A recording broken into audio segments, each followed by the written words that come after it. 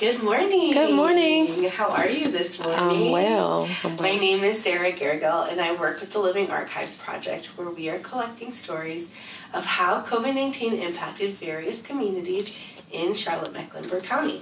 Today is May 3rd, 2023, and this week there were 55 reported cases of COVID 19 in the Charlotte Mecklenburg County area, which actually shows a 43% decrease Mm. over the last two weeks. Therefore, each subject is comfortable not wearing a mask this morning. Great. Renee, would you introduce yourself? Hi, good morning. My name is Renee Warner. Um, my official name is Frida Renee Warner. I am a Charlottean. I am uh, work, live, play in Charlotte, North Carolina. I'm originally from Virginia, so not far, um, but still in this corridor. Um, my stature and physical um, attributes I am African American, I identify as black and a female. I am pretty tall for most people, I believe. I'm five nine and a half. I think I've shrunk some. Um, I am, I feel uh, medium build and probably the the type that needs to do a little bit more exercise. One for my health and cardio, but to feel better and be able to buckle my shoes. Um, and I have two. I'm sorry. Yeah, I have two children. So I'm a single parent right now. We'll get to probably some of the interesting things that have have happened to me, um, but uh, not by choice. I am really um, learning to take care of my family and do all the other things that, that people do to live and, and feel good about um, their lives. I am a director of a transitional jobs program. So I hire folks that have barriers to employment. And so that's kind of my claim to fame and my passion. Um, I finally landed in this place where I can help individuals be better. So I just wake up every day to help people find their best selves and to live their best lives. Um, and that includes my children. And we hurry around and I fuss at them more. I probably treat the people I hire better than I treat the children. Um, so that's me in a little bit of a nutshell. That's amazing. Well, thank you so much for sharing, Renee. Yes. So you said you have two kids. I have two And children. What are their ages? They are 16. My pride, my, my both of them, my pride and joy. But my I have a boy and a girl, so both of them are my favorite. No, they're 16 and 13. 16 and right now. 13. Yes, my son is 13. But as she's my favorite girl and he's my favorite boy. Oh, I yes. love that so much. That's amazing. Amazing. And um, for work, so that's how I met you Mm-hmm. while you were working on your job. What do you do for work? I am actually I, I go around a lot to find people in the community who have a barrier to employment, and so they um, we can hire them for a temporary role where they learn uh, some you know skills, customer service skills, some. Um, you know, soft skills, dealing with the public, and just building. It could be computer skills, what have you. So we are. When I was at International House at that um, festival and um, whatever I forgot what it was called, but that type of event where I'm trying to meet people and wanting to share what we do. Um, I hire for our OTC store, so we have a free store in the the south part of Charlotte where people can come. If as long as they're a North Carolina resident they can get medicine um, over the counter meds just like you would find in Walgreens or CVS it's absolutely free. We love love love it. Our hearts are in it. We make decisions with our hearts to help people get um, all the medicine they need. If you're on that you know wavelength of uh, that school of thought that medicine can help people we are trying to help folks um, trying to reduce emergency room visits where people can take a Tylenol and not have to use the emergency room for Yeah. even infants. We have children's medicine, adults, pain creams, and cold medicines and It's amazing. Allergy medicine. allergy medicines. There is Especially perfect today. I know. I wish I had done that. I wish I had said that. so yeah, that's um. Yeah, we have durable medicate, you know, um, durable medical equipment and different things like that. Oh, so wow. it's really interesting. We meet t- tons of people. We are a nonprofit. Uh, the claim to fame for them, for our organization, though, is our free prescriptions. We also have a prescription program. However, I'm not a, a pharmacist, but I can Yeah. definitely tell you a little bit about some of that. So yeah, we serve all of North Carolina, folks who don't have any insurance whatsoever right now. Okay. And as you can imagine, the Medicaid expansion just happened, so we don't know really where we're going. Um, we're happy that happened because it's going to pull in about 200,000 people who were pretty much struggling. So. North Carolina's a little late doing that, but we have that option, and that may change our service model. But for right now, we do only serve folks who have um, who don't have any other option for Yeah. insurance. That's amazing. Yeah, And it. how long have you been working with MedAssist? I've been there five years, so I started in 2017. Yes. Wow.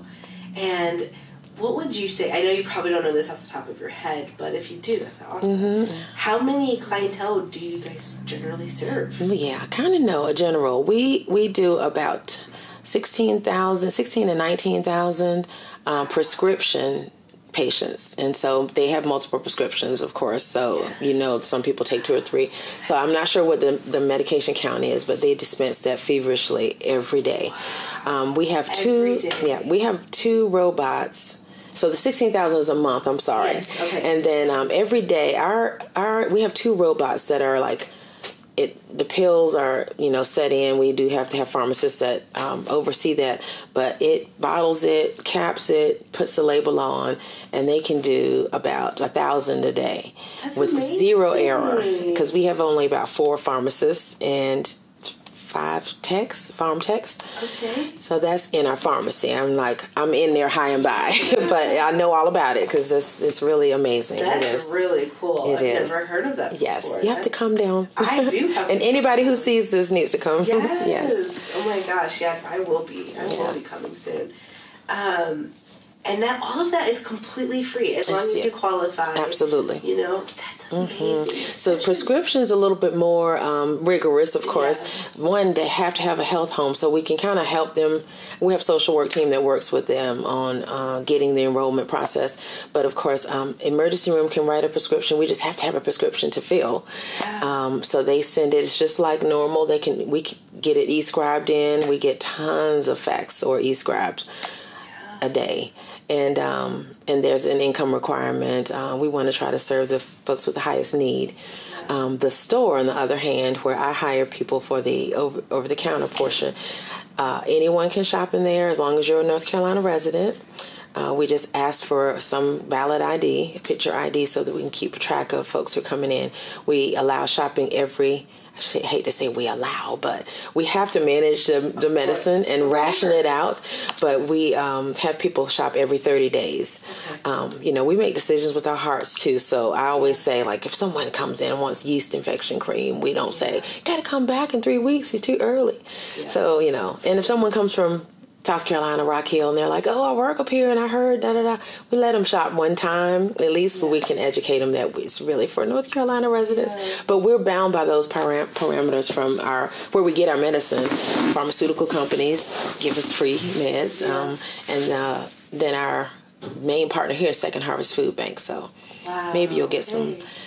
Interviews from someone there, but they're a good, great partner. They give us all the medicine they get through Feeding America, so they do food and they don't want liability for medicine. So Yeah, we're like, hey, we got it. That's amazing. We know the people who need the medicine. We'll get it oh out. Oh my gosh. I love it, love it, love it. That's amazing. And it meets such an important need. Oh yes, absolutely. Such an important That's where I feel. I mean, that's where that essential. When we get to this talk where we worked through yes. throughout, I So- never took off.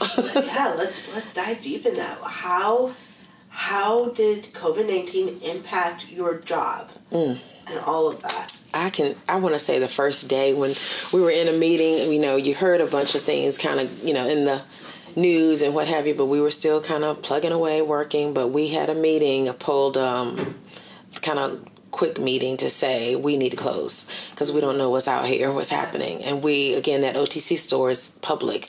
People would come in. Um, we never had a, a maximum number of folks like everything had to change. So i remember going from the meeting like leaving early. They were like renee you need to go close the store. And i went and kind of held the door. Now I'm a dramatic, so I feel like I was pulling the door. I know I wasn't like, but people were standing there like, we wanted to come shop today, and I'm like, I'm so sorry because of the COVID. You know, we were like the COVID, or we didn't know, but COVID yeah. was COVID is um you know right now we have to regroup and, and figure out we will reopen. We don't know at what point, but I'm so so sorry. I just have to kind of close for right now to keep everyone safe as possible. Um, I don't remember. I don't think we were wearing masks at that point, but um, so it changed the model of the store. We closed, had to regroup. Um, I just remember making my own kind of signage um, to try to serve curbside, but we closed down to to get our everything you know redone. I made some signs to ask people to help us um, you know, not touch everything, kind of know what you want, and just because yeah. we we're in there in a store with millions of bottles, so we couldn't clean all that you every know? day. Yeah. Um, I was cleaning my, wiping my groceries down and things like that, but um, when that switched, we we had everybody. The service went to outside, so curbside only. Okay. Um, here I am, like little things I was doing. I was taking notes from like the even Dunkin' Donuts and other places that were putting up curbside. So we were like, oh, we can do our sign like that, or we can, because I don't really have that background, so yeah. we kind of had to make it up.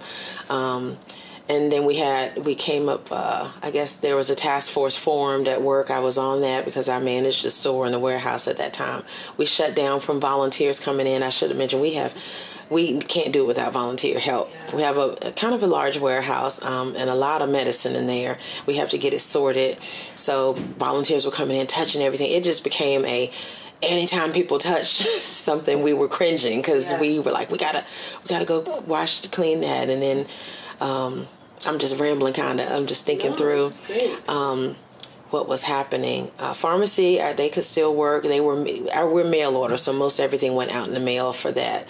But our side was haywire. Um, from learning how the you know the medical community washes their hands in every room from room to room uh, changing gloves from room to room things like that. So we really i just we had a lot of talks. We have a lot of support from atrium health at work. So they would help us out with some of the information on how to manage and cleanliness and all that. Um, and just going to work we got our letter. I'll skip up to the essential letter to that we can drive because everybody else was kind of shut down yeah. i think people. Um, I, I, vividly remember some seniors that volunteered with us calling saying we're not coming. Yeah they stopped all of our consistent you know volunteers that loved on us were like not coming. We had some uh, clients and coaches some of the folks who might have that learned differently and they would come in with their coaches but they were if they were in a residential facility they couldn't come out. Yeah. and we kind of said no we don't want you to come either. Because they're in a um, what do you call that? Like a group living situation. Mm-hmm. um, yeah and that it was kind of crazy like that for a while. I was going home, and I mean that's going home life. But I would go home and I'd have to stop. I couldn't hug my kids. Um, we oh yeah the the uh, school issue that shut down, and they were they were sent home. And I had a few workers that had children and could not work. So we were essential, and then her kids are at home. So I had a single mother. I remember we were like what is she gonna do? She can't. She had to go home with them. They were yeah. elementary age, and then a baby, and um, we couldn't. She couldn't work, and so for us, thankfully at work, COVID pay, we had a great accounting person who kind of kept up with all this. And so they had um, COVID money funding started to come through. And so we could pay some folks um, that had to go home with the kids. Yeah. Um, and it was sort of, I'm not sure all the details of that, but that was one issue because my goal in in my job is to help people build financially and we want to pay them and then when they were actually it's no work no pay it's an hourly wage yeah. so for her to go home she couldn't work and I was like I can't send anything home because it's personal identifying information on everything we have and yeah. we don't know how you can help at home and you know yeah. so we were able to kind of help her out to stay home for a little bit and then the child care. We were helping employees try to find child care so they could work because they were essential. Yeah. Um, at the time, my husband was working, and well, he worked for the city of Charlotte. They, and he's pretty up there where enough supervisory wise where he had to work and manage yeah. figure out what to go to do but once they got settled he was off one week or two weeks and in one week so they kind of staggered we never staggered at our job um, but so they were, my kids were able to stay home with him. as he kind of went stir crazy about staying home because he was a busy body, always yeah. doing. Um, but yeah, I think I'm trying to think. That was kind of the the gist of how. I'll see if I wrote anything about work. Um, yeah, it, from everything, I guess moving to buying signage for when we moved into where we can manage COVID, we'll do six people at a time in the store. Yeah. We wanted to not, you know, not go over ten, and so with maybe a couple of volunteers, um, we would have six customers come in, two people kind of working, maybe a volunteer helping us out back and forth. So we just went through it um, with that, the the knowledge and not trusting and not. Mm. I should mention. So we had with work, some of the office folks could work from home, but we still had to work. So social workers, they work from home. Our development, which is big deal for a nonprofit, we raise money, so they work from home. But it started to be a little animosity, not bad because we all have big hearts, but it was little things I noticed people would go like we're in here all the time like yeah. you know and some people get to work from home and it was just unheard of kind of but we liked having like chill time at work like yeah. the break room it's only about 40 people anyway 38 40 at that time and um, then it came to, down to just our store and the pharmacy and there's maybe 10 or 12 in there. Okay. So it was so quiet and we didn't have to fight for the microwaves and we just we kept to ourselves. We used to kind of share medicine cuz we were medicine. We had a medicine cabinet instead of a coke machine, right? Yeah. So um but we would have like indigestion what do you call it like omeprazole or something for indigestion yeah. and Tylenol will be in there and some things but people stopped using you know, yeah. shared medicine at that point. So that was a little change I, I noticed. Um, did you notice, um, in terms of the clientele that you served, did you notice that the numbers went up, increased during COVID, or did they stay the same or did they decrease? So for the store, I think we all across the board it decreased. Okay. Um, the store particularly surprising to me. I, I, don't know why I would assume that it would have increased. I will tell you. But the with us, the store, our clientele were mostly seniors, and they were the ones like not coming out. Even though we went to a uh, you know service model where we were curbside, yeah. people had to kind of get it first, and then they would you know some people wouldn't wouldn't venture out just you know fear of just you never yeah. know it's airborne, and it was that was where we were. We didn't know where we were getting it from, so. Yeah. And especially the older folks were kind of they just didn't trust anything. So they, our clients usually or customers wouldn't come out at all. Um, we did find where people would come out and shop for them. So we first we had a model where people um, would have to show their own ID and you have to shop yourself. Um, we had very few people that were like homebound, and we but we just could not service those folks. But we had to turn around and, and try to service seniors because they were our base for the client base and um, and they really felt like they needed the medicine. There were a lot of supplements. We have a lot of medicine. We have a lot of, um, I should say, vitamins and supplements. Vitamin C was so huge. We had to get it out. and We had a lot. So we could not say you have to come, be present to win. You know, we like we're gonna give it to you if if your daughter wants to come and you know get medicine for seniors, and we let them do that. Um, we had a lot of zinc. Zinc was a big deal at one point. People were talking about, oh, you need to be taking vitamin D, and you need to be taking. So we then and then we had a lot of hand sanitizer, and then we had none, and we were. It was so I can't remember which how it went, but um, and then we turned back to have tons of hand sanitizer, and even now people are offering it. I know some of the atrium, and there's a warehouse somewhere that has t- like they can't believe how much my boss went to see. And she's like they have so much. Like it's gonna go to waste. So um, everybody was making hand sanitizer. Breweries we got we did a yeah some type of um, like a grant request for for a brewery that had some hand sanitizer coming out looking like a beer bottle or something. But we were just like it's crazy, um, but the, the people started not coming for fear. And then we'd get requests from like atrium health who were opening a covid relief like wing or um, not hospital but a residential area. I think they were turning something into this covid um, like recovery center, okay. and they'd ask us for you know all we could have the cold medicine all the things that can kind of help people along that little yeah. the path not little but yeah absolutely bananas so so now let's let's kind of shift so before we started this incredible interview. We did an mm-hmm. activity together called a hand map. Yeah. Um, is there anything that you would like to share from your hand map? Uh, what sticks out to me is um and if you want to pick it up you can do that well yeah i see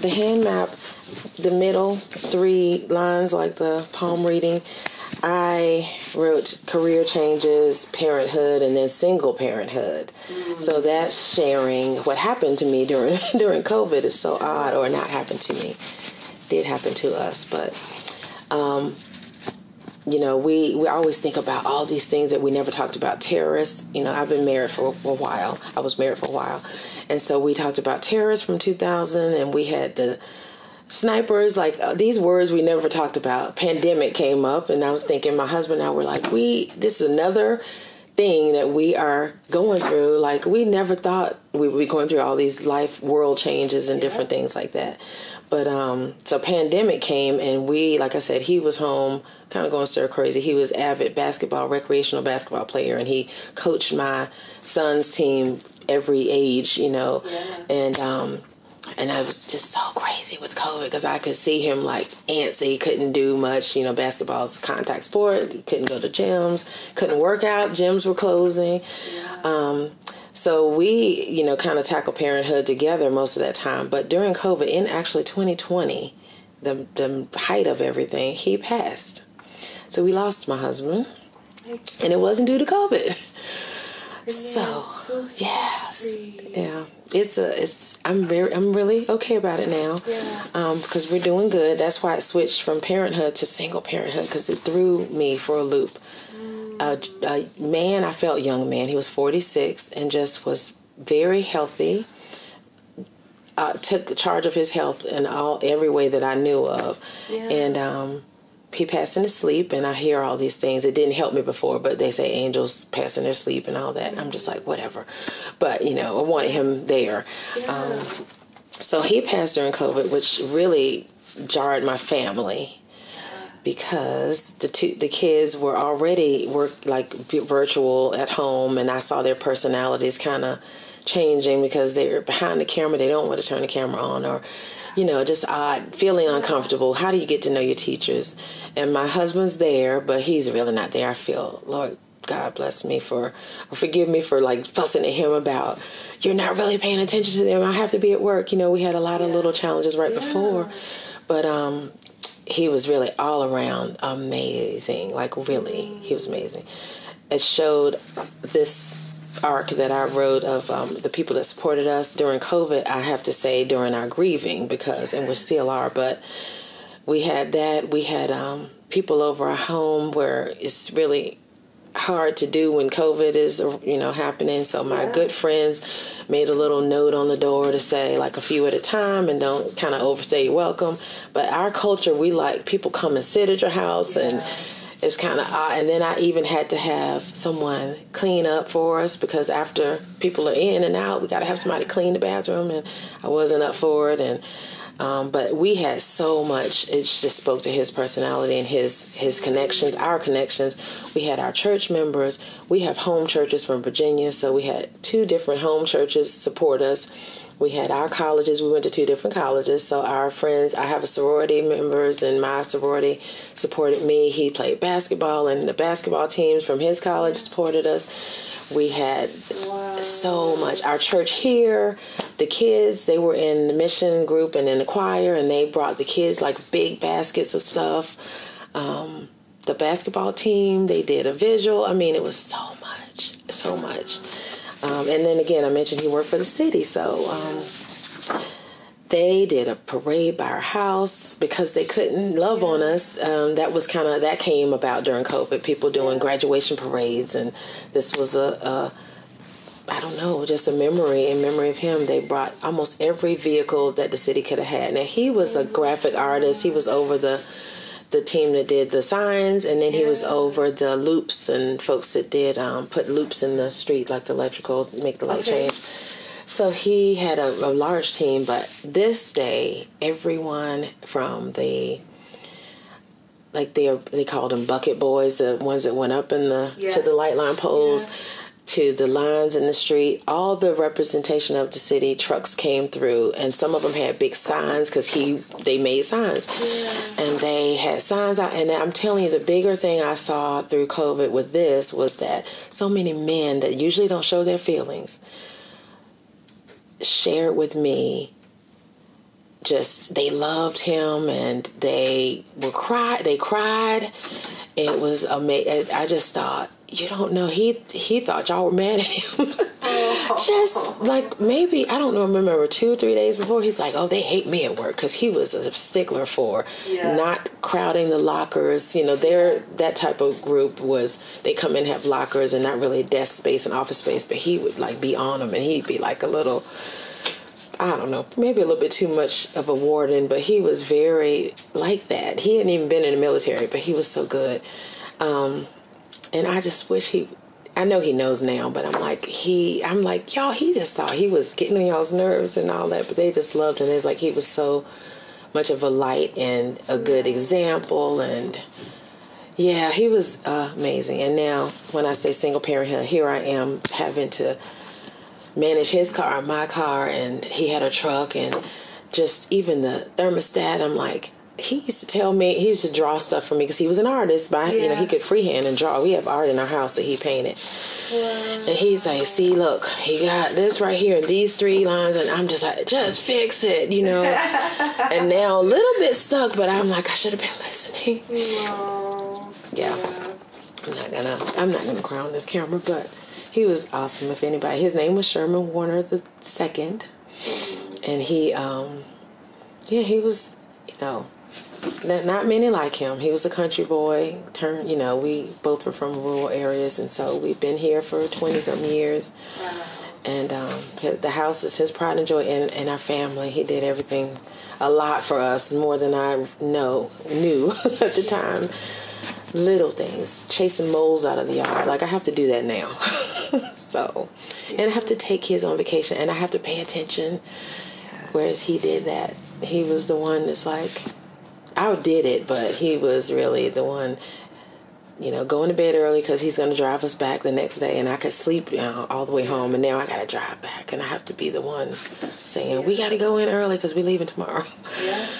But um, but he yeah he, he saw a little bit of, of covid and felt a little bit of that now i say not due to covid for us the grieving and the the grieving just extended that first initial part because they couldn't tell us what happened for months he passed in september and that was excruciating we had this you know first we had to figure out get the funeral dates because it was longer than i thought it was lo- like over a week before we can get a date because so many funerals What, what year was this? 2020 Oh, so it was right Yes. at the height of the pandemic. Wow. yeah so we um and then i didn't know if it was Do they think it's covid? Like what i don't know what the process Yeah. was for the autopsy whatever they do. I guess an autopsy but they, they didn't give us an, a reason. And um until wait i want to say it, oh gosh. Was it the end of march into april? Yeah the end of march. And that's me still having to call and still having to wonder. Yeah. I'm just and then my son, who he would say, um, you know, my husband, my husband was home, and I called. So the firefight, the fire truck, firefighters were the first responder, and my son kept asking weeks after, like, did the firefighters tell you? Did firemen tell you what happened to Dad? Did the firemen? Because he thought they were the ones to know, and he's old enough, but I guess it was just stuck to us, stuck in um, differently, and. Um, I do want to mention, I didn't write it down, but it's bringing me to this. The racial unrest was happening too, and so even before he was he was gone, I would worry about him being out, being a black man. He was African American, so and I would worry about him having pent up energy because we were back and forth. He couldn't really work. He couldn't work with his hands and do what he needed to do. And so I would worry about just him flying off the handle with the wrong police officer. Um, it was so it was so sad that I had to think about that when we called, you know, when I called them and the ambulance came and then police officers came. And I panicked so badly because I called I was calling my girlfriend. I was like, somebody's got to be here because the police are here, and I just don't want them to misjudge the situation or not. I just didn't know, and I thought this is this sucks eggs to be thinking about my son and the police are in here and he you know like what if they think he did something? I, I just didn't know. Like we heard about so many wild stories and all sides of stories and i just was like somebody's got to get here because it's just me and Yeah. the police are here. And i just kept zoning on the police and it's it's terrible.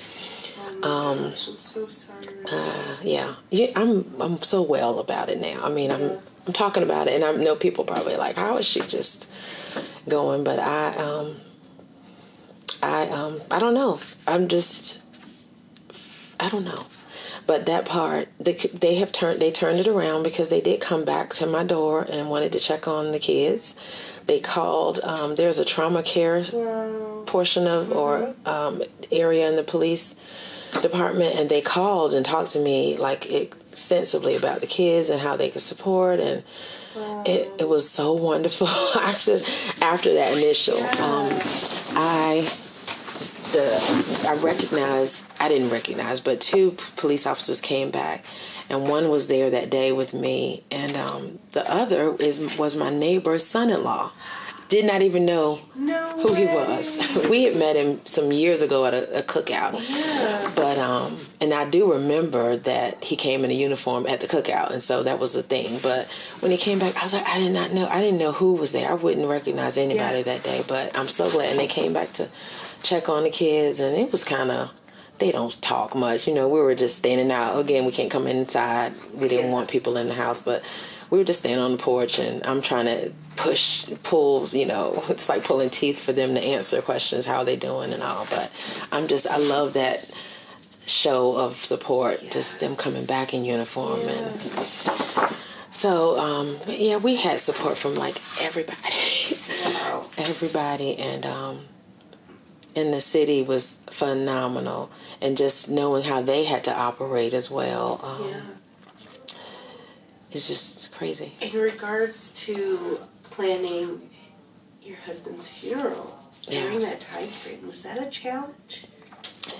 It was. We decided. I knew he would want it to be buried at in his hometown. So he's from Danville, Virginia. So we had to go. I mean, I did a lot. I think I went a couple of times, but um, on the phone, and I think I could send things. Um, but it was a challenge just in getting the scheduling, Yeah. and um,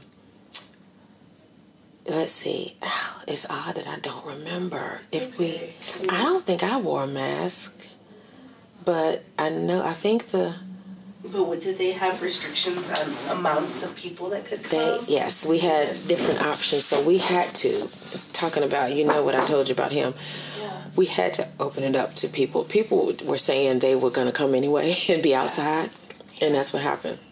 So we had a few people were inside. People just came to support and they just were there outside. Yeah. Um, very respectful. They weren't, you know, we hadn't gotten to the casualness of it all, like people wearing sneakers everywhere. So everyone was still dressed as best they could, I guess. And they went to, we went to the graveside, Yeah. you know, and they came like in droves. I remember just looking back in the car and like the way the street was, you could really see down the hill and curving, and it was all lights showing that they were in line for the funeral, like recessional. So that um, a lot of people came out, even though so they kind of risked it to show their respect or pay their respects. Um, and then not I don't know I don't remember a lot of it. It's so crazy that I don't remember. Okay. Sometimes Um, when we experience so much trauma and Yes. grief, our, our minds just pause until we're ready Yeah. to remember a lot of it. I um and I think I've chosen to just remember good times Yes. and not because I went through quite a bit and probably imagine. cried my eyes out. Um, my good girlfriends. I remember being like taken to dinner and we I could I don't even remember what I ate or what you know they were just talking and Yeah. Not really talking over but I think they were trying to keep it light and I just kind of don't remember. Now I, do remember seeing a fire truck that day because our me and the kids just notice we hear it every day now. and it's just a trigger. And it was it used to be a bad trigger. I mean, I got to work one day and I bawled because I had just passed a fire truck, and everybody was like, "What's wrong?" Like, what? It's okay. And you know, they were trying to not say what's wrong, but Yeah. I'm like, I think I, that's when I recognized it was a trigger. And the kids, we were somewhere, we were eating ice cream, and we heard a fire truck, and they started looking, and you know, just kind of seeing where it was. And I noticed, I said, they do it too. Yeah. We all are like very keen on Yeah. that sound and seeing them, but then we switched that. That's why I'm so happy. We I finally recognized that it could be I'm gonna take it as my husband's there saying, "I got you." That's just a signal. He's Yeah. because of course it's Charlotte, and of course they're all the time Yeah. running out. But I we take it as like I say, hey, his nickname was Snook, and I was like, hey Snook, good morning Snook. You know, we always are seeing him.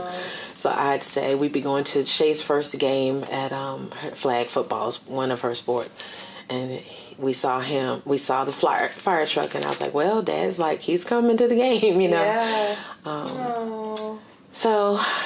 That was the the thing, and you know, I, I was hoping it wasn't COVID, but um, it turned out to be a heart attack. So Heart attack. yes, a Wow. very healthy man, I thought, but um, and that opened the eyes of a lot of people. So that was, I mean, we had COVID happening, and people, you know, hearing about all these deaths. We had a death in our family, my sister-in-law's father, which is the closest at that point. But um, then he, being something totally different, it just really showed our circle like time, tomorrow's not promised. All the things you hear, Yeah. people we were living it, and so um, Yeah. more awareness. I wrote down self awareness and just awareness and um, doing what we you know got to do. Like I said, I took my kids to New York because I'm like we gotta just live. Yeah. Got to be smart about Yeah. you know being able to live when we get back home. But I need to take them and be enriched and Yeah. and that's what he would want. We were doing that before he passed. So Mm. yeah, Wow. Renée, thank you so much for sharing. I cannot. I know you're in a good place, but I cannot Yes. imagine that the pain that yeah, it took to get here and and yeah. truly, truly, I'm so sorry for your loss. Thank you. I appreciate that. I appreciate that. Um, I don't mind even sharing the mental health part of it while Yeah. you're saying I'm in a good place. I love that you're a therapist, but um, I, I did a couple of therapy sessions, probably not enough. Yeah. Um, one of my groups that I said helped me, I did a um, grief class, grief share at a church Okay. and that really helped a lot. Um, so, Oh, so good. but even COVID and just being, I feel like I'm an advocate for mental health therapy, any type of talk therapy people can do. Um, I had, like I said, I didn't do enough, uh, but I'm good right now because of the little things I learned and the people I met, um, and a little bit of help. I I will put on record. I had to, and you know, I had a little bit of help with uh, serotonin uptake or something. Yeah. I I took uh, some medicine to try to help me take the edge off, and Yeah. I think my levels were way off. Yeah. So, I mean, um, cortisol, stress, it really Stress. impacts your body. Absolutely. Um, thinking about work uh, because I love it so much. But we went back to have a. We had an event probably too early. We went bowling together, and there was an outbreak. We had not had any issue. Nobody had been working like in the office. We were doing so well, and then we had this bowling and i'm thinking we had open pitchers i think the bowling alley had just opened up they had open pitchers of drinks and i'm like why aren't they doing individual drinks and it was just kind of scary and then we found someone there tested positive. So we had to close. That's the first time we had to close. And that was my husband had passed so it was 2021 Okay. we went through almost a year and a half really. Wow. I, it was I don't remember when exactly, but um, yeah, that was a bad made the wrong decision to to have some. But we were so starved and wanting Yes. to. Our social committee, we have a social committee at work, and they wanted to do something we thought would be easy, but we were like touching the same balls. We had again not individual. The spread was out, and people were getting their stuff, and but I didn't get COVID. I will say my my coming out full circle. Um, I nor my kids haven't had COVID yet. That we know of, unless it was very, very mild and we didn't even think to test. We, We've Yeah. tested a few times and didn't have it. Yeah. And I actually didn't, um, what do you call it, acquire or get, whatever, get COVID until Yeah. 2022, Okay. last August. Last August. And um, I don't know where. I'm trying to think if I figured out where. Uh, but I don't, I don't think I remember. It's 2022. I'm still like not remembering. So yeah, but I was like almost. I feel like patient zero at a party. I went to my friend's 50th party, and when I got home, I didn't feel well, and I'm like, wait a minute, and I had to tell them. I was like, I know how this feels. Like Oh no. you just we had stopped kind of sh- staying away from people and Yeah. um, and I had to say oh I got back and I didn't feel well and my first symptoms started Sunday night and I got home Sunday so I had to tell them for the folks at the party But- happens. yeah it was But a okay. mild case Yeah. considering everything else Yes. throughout the whole thing I did um, we we follow kind of doctor's orders I trust doctors so there are some people who are very leery all those conspiracy theories and all that you know that's stressful I mean you're just reading this and then we have not dissension but different different thoughts in, within a family. Um, my brother didn't believe in vaccines period. Yeah. and so here I am like you know are you gonna really like not if it gets to employment or your vaccine are you gonna not take care of your family not employment wise? And so um, we just had all those talks. Um, but I did decide of course again we followed doctors suggestions and I felt good about it and I got I've had them all my kids when they were able to um, got vaccinated uh, my son has a heart condition that's very um, he's like out of the woods. We don't we're not under doctor's care or cardiologist care right now, but he um, had a heart he had heart surgery when he was right before he turned two. He had a pediatric catheterization. And so they suggest we kind of keep him. You know, he was Yeah. very, um, what is it called, the high risk, and so Yeah. we wanted to be vaccinated. We would get flu shots for the same reason, so Yeah. regular flu shot. And so we were, um, and I feel like it's helped us. Um, there's time to tell whether it's it was something bad. I hope the government wasn't doing anything vindictive, but that's in our head. You know, it's all in our heads because people talk about all types of stuff. Yeah. Yeah, I Can imagine. Yeah. Thank you for sharing. Before I know yes. uh, to honor and respect your time, is there anything else that you would like to share with us before we finish? I don't. I think um, that's been really good. Um, no, uh, that I share. I did the. I've shared who I am, and Yeah. I hope people can, and and it'll help remind me who I am. I hope I don't go into a different direction, but um, the trajectory I'm going on, I feel like I'm intelligent. I'm um, resourceful. I've learned throughout COVID, and again, been made. You know, my confidence is boosted since I had tragedy within and COVID. That the the silver linings have been that I've I realize I can manage a store. I can be very flexible. i I'm usually a Type A person, so um, and I'm just hoping um, you know to continue. And I love this project. I will say I'm thankful that to be able to archive it and to just record because Yeah. I wouldn't have done it on my own. Yeah. and so um, hopefully it's helpful And Thank you, Renée. the research. You. Yeah. You are so strong, so Mm. resilient. You have come out strong through so much, Yeah. the, so much during the last few years, and to just see the way that you love your children, and the way that Mm. Thank you. love those that you work with, and the services you provide. Thank you for Thank all that you do, Renée, I appreciate you it. Thank you. I appreciate you. it. Appreciate you sharing, your story. Yes, I will say I'll dedicate the talk to my husband and his honor and his memory, and that's why I'm strong. I've always I've been getting progressively better because of him since I've been since I met him, and so um, I do feel like I can get through anything. So thank you. I love that. Thank you. Appreciate